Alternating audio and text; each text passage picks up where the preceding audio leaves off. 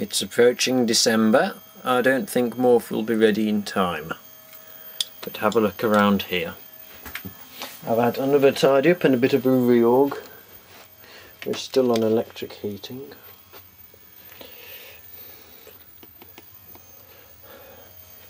That platform is Morph Studios and is currently used for storage.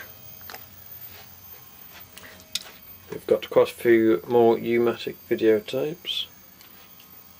Hi-fi stuff is now piled up here quite nicely. And I've got a new editing suite. U-matics. My old one works fine, that's low band. That one works fine, that's high and low band. And making strange noises at the moment, for no apparent reason, is the high bander. This is the editor. This is the most crucial one, because it's got these buttons. And the fast wind motor runs and runs and runs for no apparent reason. Also came with that monitor, black and white, quite nice. And there's the old edit suite.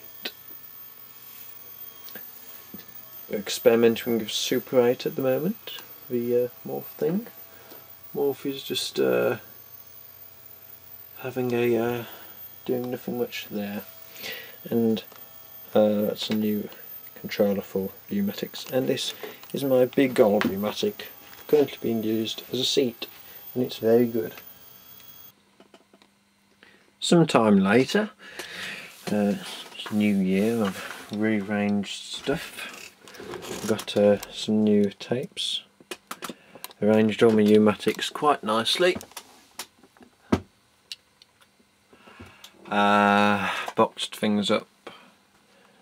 The stack has been added to with a new recorder for doing duplicates.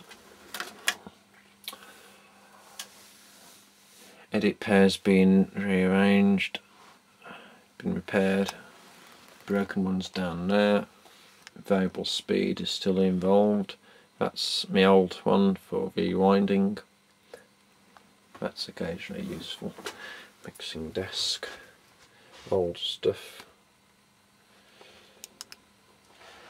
old U-matic on show, miniature U-matic tapes, Tally's moved to this side of the room. VHS tapes need sorting out. Morph's been finished. That's the old stuff. That's the old platform for Morph.